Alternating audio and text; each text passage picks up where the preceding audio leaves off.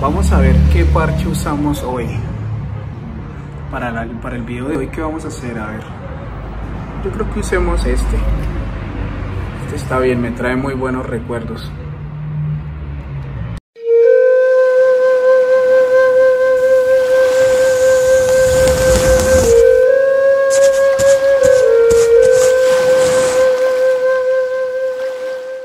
Hola amigos, bienvenidos a este nuevo video. A propósito de los parches Bujinkan, algunas cosas para decir. Estos parches son japoneses. Los derechos de autor o el copyright de estos parches los tiene el Soke Masaki Hatsumi. Son de él, es su emblema. Los que quieren tener este parche simplemente lo tienen que pagar a Japón y listo. Este parche es único. ¿Que se puede hacer? Claro, se puede hacer, mas no se debe. Muchos practicantes a nivel mundial han desarrollado simplemente eh, mandarlo a hacer, lo mandan bordar y tienen estos parches. Algunos lo hacen muy bien, otros definitivamente se nota que están mal hechos, pero la recomendación o el llamado que les hago es esto no se puede falsificar. Aquí en mi país hay, hay instructores muy conocidos que hace muchos años vienen falsificando el parche y los menkyo, los diplomas. Es un tema de ética, todo el mundo lo sabe, todo el mundo lo conoce. Que si se puede denunciar, se podría denunciar, pero piense algo. Les voy a poner el caso de Colombia. Somos Colombia. Nosotros no somos tan importantes para Japón, no somos tan importantes para Soke seguramente se podría denunciar, pero esto no pasaría a mayores. Entonces, la recomendación es los parches hay que comprarlos en Japón. Ahora, esto lo menciono porque hay una moda eh, recientemente con el tema de la pandemia donde parece ser que todos los practicantes de Bujinkan hacen lo que quieren.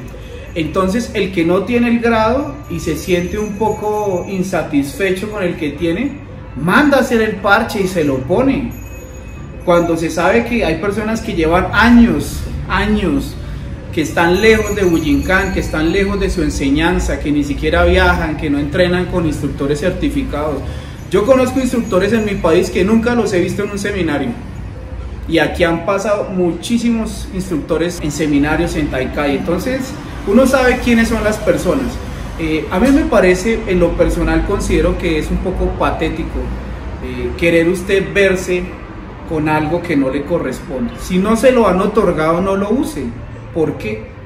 Ahora, también les hago otra reflexión. ¿Cuál es el afán? A mí me encanta este parche. Este me gusta. Pues este lo uso ahora. Este yo creo que es de los que más me gustan. No sé. Me parece que el rojo con el negro sale perfecto. Pero ¿cuál es el afán? ¿Cuál es el afán de querer subir de grados? ¿Acaso el parche hace alguna diferencia en su conocimiento? ¿Acaso el parche hace diferencia en su trabajo?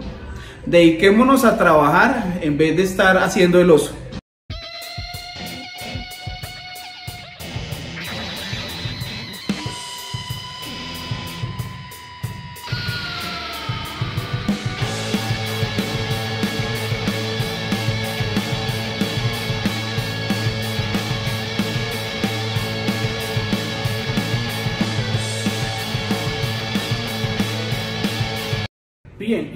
Dicho esto, entramos en materia.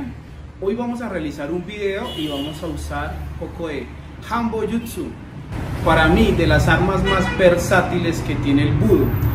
Eh, además, porque es una de las armas que está más actualizada con los tiempos modernos. ¿Quién no tiene un bastón? ¿Quién no tiene un tambo? ¿Quién no tiene una varilla? Muchas personas las cargan en el carro. Esta es una de las armas que usted más podría aplicar en los tiempos modernos. Entonces vamos a ver un poco de ese trabajo. Bien, entonces vamos a comenzar. Posición gira no kamae. Exacto, relaja piernas, relaja brazos y vamos a comenzar calentando con rodamiento al frente. Mae kaiten. Dale, desliza mano, ok, viene. Muy bien, nuevamente. Listo, va.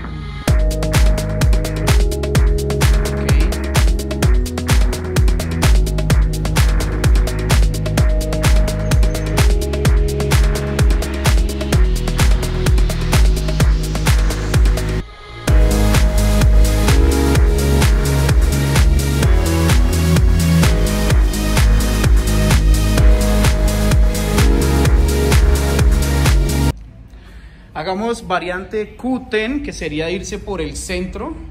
Dale, Santi. Ese, muy bien, y se levanta, ok. Ajá. Devolvemos. Dale. Ok. Bien. Bien, veamos la variante Ushiro Kaiten. Entonces, muéstranos Santiago. Bastón pasa al frente, rodamos, sigue. Ok. Mira para la pared. Rueda. Ok, viene.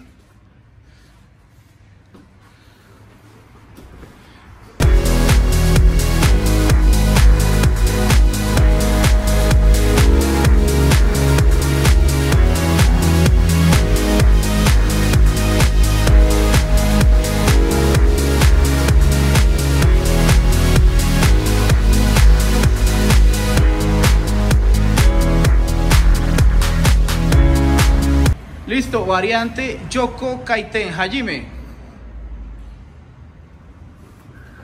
Ajá. Dale.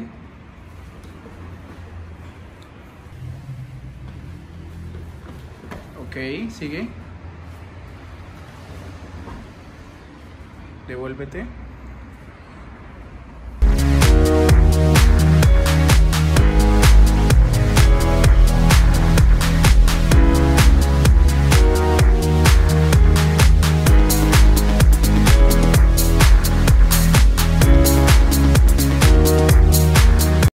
Vamos, Hicho Kaiten. Ok, devuélvete.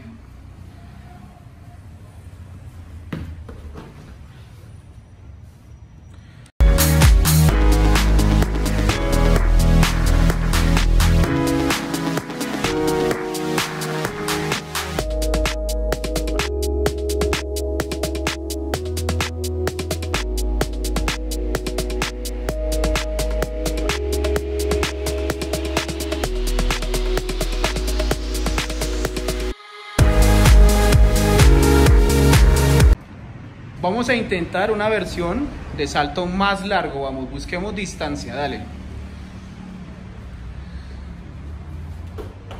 Eso, muy bien. Vamos hacia allá.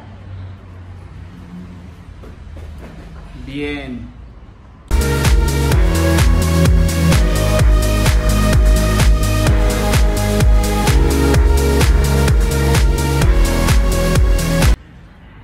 Vamos a hacer eh, OTEN, media luna.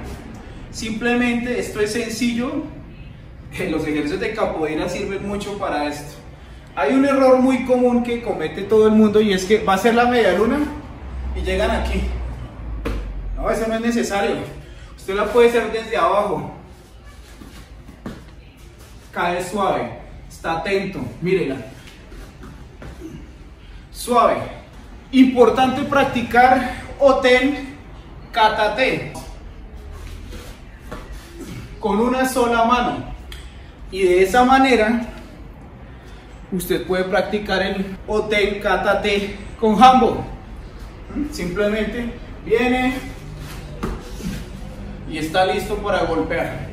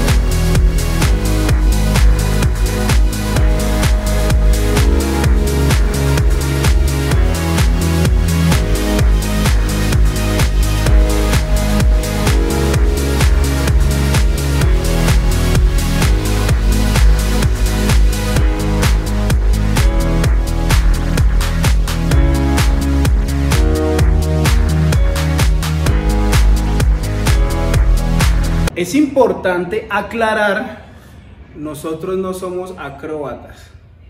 Hay gente que se especializa, hay gente que practica gimnasia, hay gente que practica parkour. Y si usted quiere hacerlo mucho mejor, practíquelo, ¿ok? Porque yo sé que luego vienen críticas. Entonces, lo que usted tiene que ver es que puede hacer una media luna, más o menos decente, y luego inténtelo con una mano. La práctica se puede perfeccionar. ¿A dónde hay que llegar? A que el cuerpo esté completamente recto y que pueda estirar completamente las piernas. Seguramente cuando usted lo va a practicar, al comienzo hay un lado que como que puede más que el otro, pero igual tiene que hacerlo, izquierda y derecha, izquierda y derecha, Migi Hidari. Vamos a trabajar la técnica de golpeo Ushiro Naname Waki Uchi. Este es Waki Uchi. Golpear al frente, deslizando el bastón. ¿Qué es importante tener en cuenta acá? Cuando estamos frente a Santiago, este ejercicio se puede trabajar en el dojo. Un bastón de frente para que se pueda golpear. Tomamos posición y recogemos, recogemos,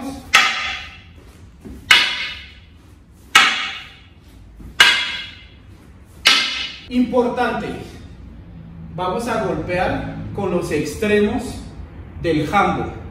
Muchas personas, hasta acá, golpean acá. Esto es innecesario.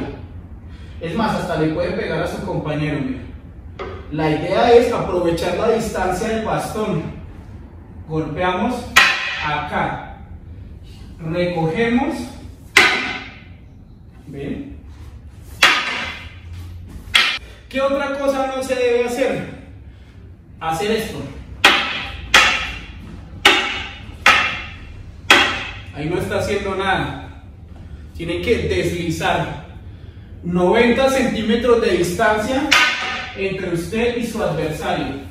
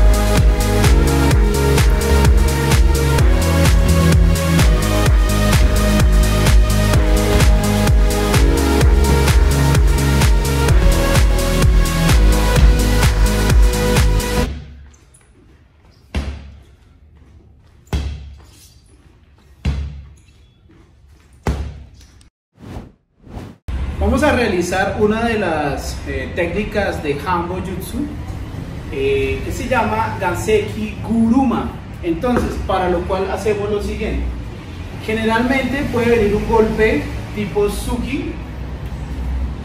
Esto ya lo hemos revisado. Es importante que trabajen el Tai Sabaki. Siempre la cara sin miedo. Va. No importa que el golpe pase cerca, no pasa nada. Ojalá le roce la nariz. ¿Mm? Porque aquí se puede golpear, miren. ¿Mm? Pero no es lo que necesitamos. Entonces, ¿cómo funciona Kuruma? Cuando él me ataca con la derecha, vamos a usar el extremo izquierdo. Vamos a trabajar por la parte omote. ¿Viene? Vamos a colocar el bastón ahí. Solo eso, practíquenlo varias veces. ¿Mm? ¿Viene? Importante, practique colocar el bastón, ¿vienes? Ahí. No golpear. Si usted golpea, recoge. No, no, cuando te golpee. ¡Pac! Si usted lo golpea, pues obviamente él va a reaccionar y va a quitar el brazo. Entonces, esto lo revisé una vez, un seminario con el maestro Pedro Freitas. Él, él decía el concepto de, haga de cuenta que el bastón es una mariposa y la mariposa se coloca ahí. Imperceptible, casi ni se siente. A ese nivel de sensibilidad es que deberíamos trabajar. Entonces, colocan el bastón. Ahora, vamos a desplazarnos hacia él, pero necesitamos doblar el brazo. Acá. Miren las piernas. Podríamos golpearla. Una opción, viene nuevamente. Uno, me muevo hacia él y envuelvo el brazo.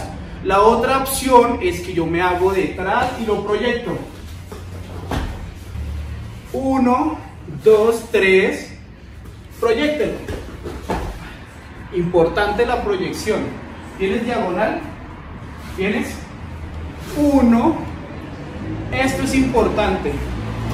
Debe estar corto la mano. Si usted la deja aquí, aquí se le sale. Mire, él puede sacar el brazo de ahí. Mire.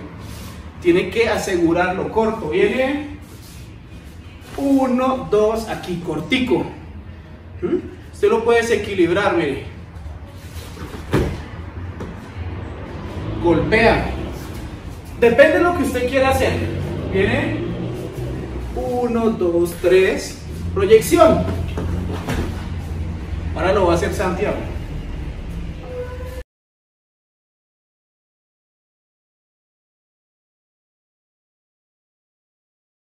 ¿Va? Recíbame ahí y me proyecta. Recíbame por aquí, va.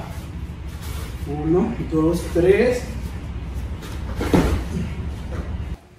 Uno, dos, tres, cuatro, cinco.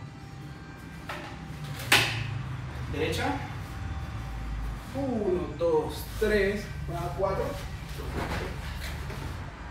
Bien amigos, esto fue todo por hoy. Eh, esta última con una Shirasaya, una espada oculta. Ustedes traten, pueden fabricarla. La idea es que parezca un bastón, que parezca un jambo. Usted puede hacer técnicas de jambo y las combina con espada al mejor estilo de Satoichi. Espero que este video les sirva para mejorar sus bases, para mejorar su conocimiento respecto a esta maravillosa arma. Seguiremos trabajando otras técnicas. Por ahora me despido. No se les olvide, no falsifiquen los parches. Si usted no lo tiene, pues use otro. Haga el parche en su escuela, no tiene que falsificar esto. Y mucho menos caer en el patético error de hacer sus propios parches. Al paso que vamos, vamos a ver practicantes con parche dorado y cinturón dorado quizás. No se les olvide, suscríbanse, compartan el contenido que entre más lo compartan, más ganas me dan de seguir transmitiendo. Nos vemos en una próxima oportunidad. Bye.